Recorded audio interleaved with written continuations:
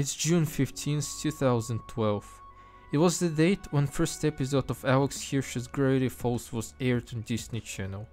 What was originally planned as simple children's animated show became a classic and one of the best shows of the previous decade, not just animated shows. Its clever writing, humor and mystery attracted the attention of many people of different ages. But we're not talking about the show's greatness right now. You can watch my two-part video essay called Gravity Falls in Retrospective, which I released earlier this year.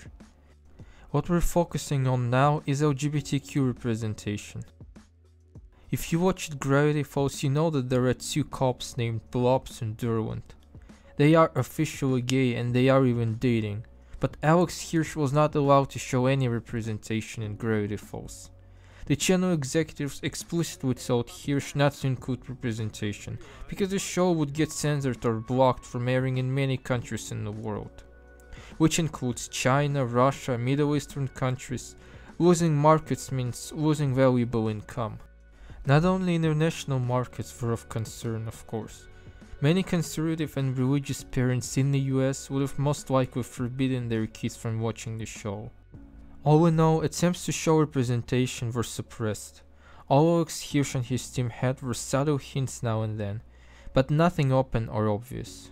Blubs and Durland are gay, it's confirmed by Alex Hirsch. Other characters like Dipper and Wendy are queer-coded.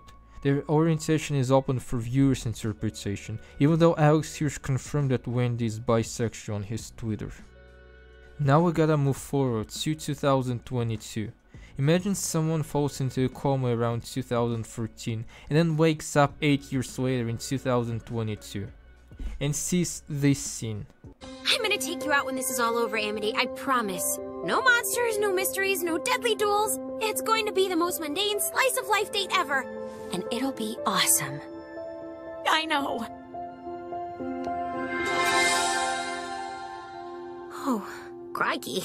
They would probably get baffled how we came from not allowing background characters to even hold hands to showing a female main protagonist kissing another girl on screen.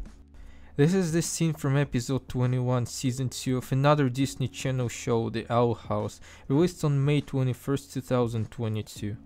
The evolution of representation happened very quickly. The channel was initially opposed to representation, but Dana won this confrontation with Disney and defended her vision. The result was not unexpected. First some countries tried to censor the show and it looked extremely ridiculous. 总之，一切都疯狂到极点。我不知道自己的未来会怎样，但未来如果能有你，一定会超酷。所以，呃，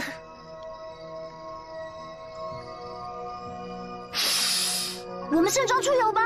啊，不，被超前一步。对不起，对不起，你说吧。 But eventually the show was just blocked because censoring it became completely impossible. The LGBTQ representation in animation started, not surprisingly, in Japan. The show Princess Knight was released in 1967 and the main character Princess Sapphire was transgender or genderqueer. Across the ocean in the US, queer representation was limited to queer-coded villains for the most part. The first show to feature openly queer character was The Simpsons in the 90s. I'm marrying a woman. I'm. I'm gay. But The Simpsons is not a show for kids, so it wasn't as controversial. American conservative censorship was trying really hard to not let queer characters into the country's media, especially children's media, as it was viewed as sinful. Stuff coming from Japan was also censored.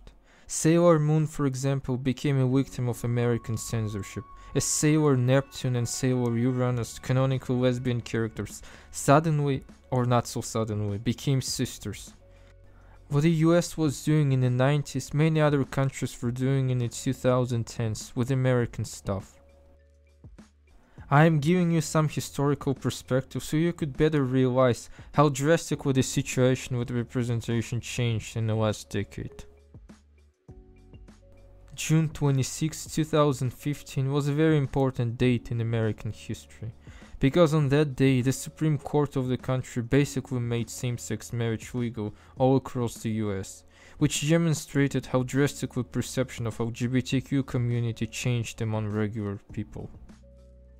About three and a half months earlier, in the episode Jailbreak of the first season of Steven Universe, Sapphire and Ruby appeared for the first time. Before that, we only saw them fused as Garnet. Steven Universe absolutely revolutionized representation and showed the first openly gay couple in a family-oriented animation. There were queer characters before, for example Mystique from X-Men Evolution, who is bisexual, or Cassidy from W.I.T.C.H., who is a lesbian, but their orientation was only confirmed by the creatives of the shows. It was still largely taboo in the 2000s. 2010 saw a crucial change in people's attitude. And as society changed, so did the media. Even though representation was largely a thing for animated shows on television and streaming services, which was a relatively safe bet, many shows can survive on limited markets. Steven Universe was heavily censored in many countries. In Russia it is basically illegal to show LGBTQ characters to kids because of Russia's law against so-called gay propaganda. The episode where Ruby and Sapphire get married did not air, in some countries Ruby was voiced by a male voice actor. Because of that, Ruby wears a dress at the wedding. Rebecca Sugar and her team also removed Russia from the map of the world in one of the episodes. In 2014, the legend of Korra ended. The ending implies that Korra and Asami are together, though the animators couldn't show the kiss, so the characters just hold hands and then disappear into the portal to the spirit world. Adventure Time was luckier. It ended in 2018 and Princess Bubblegum and Marceline finally had a kiss after seasons of just subtle queer coding. If Korra had more seasons and ended later than 2014, we would have certainly seen an on-screen kiss between Korra and Asami.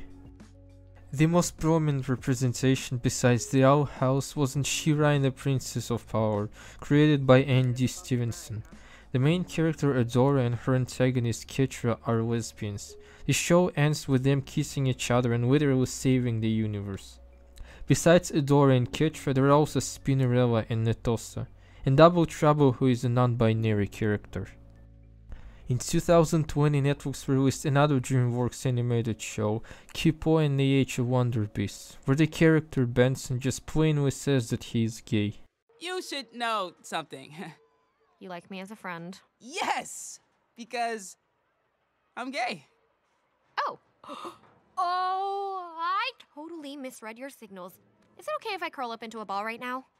If I had my personal experience, this scene completely flabbergasted me, as I don't even remember any character in family-friendly animation saying word gay at all.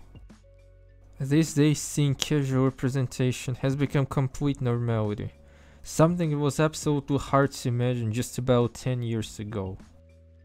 Disney was one of the last to join.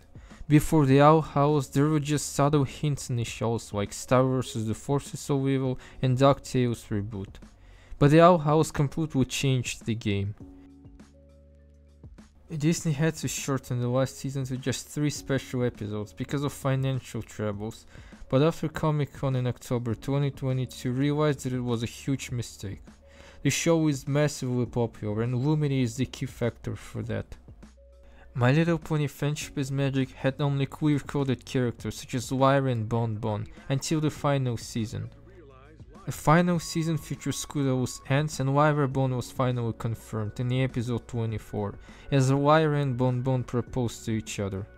Hasbro did enough to hide it and make it less noticeable though. Rainbow Dash and Applejack are implied to be in relationship in the last episode. As I mentioned already, most representation is from TV shows. Movies made for the big screen play by a completely different set of rules as they get way more exposure worldwide. And companies need worldwide markets. But LGBTQ characters can put a movie into jeopardy of not being shown in theaters. So there wasn't any representation until 2020 when Disney released Onward, featuring a background lesbian character who barely mentions her partner in the movie. Very easy to censor and replace the girlfriend with just a friend, which many countries did obviously. The same trick was used a year earlier with Avengers Endgame. The first on-screen representation appeared in Lightyear, and the reception of that movie by the general audience was abysmal. Not because this movie was that bad, it objectively was not that bad, even though it wasn't good either, but because of representation. Not to mention that the movie was blocked from theaters in many countries. Disney refused to cut a same-sex kiss from the movie. The fate of Lightyear was repeated by Strange World, where one of the characters is openly gay. And this is the history of representation in Western, mainly American animation, in a nutshell. It doesn't really have a very long history, obviously. The change that happened in the last decade or so was absolutely phenomenal especially since 2015, which seems to be a crucial year not just for animation but for politics as well. Representation matters a lot obviously and in the next video I'm gonna show you why.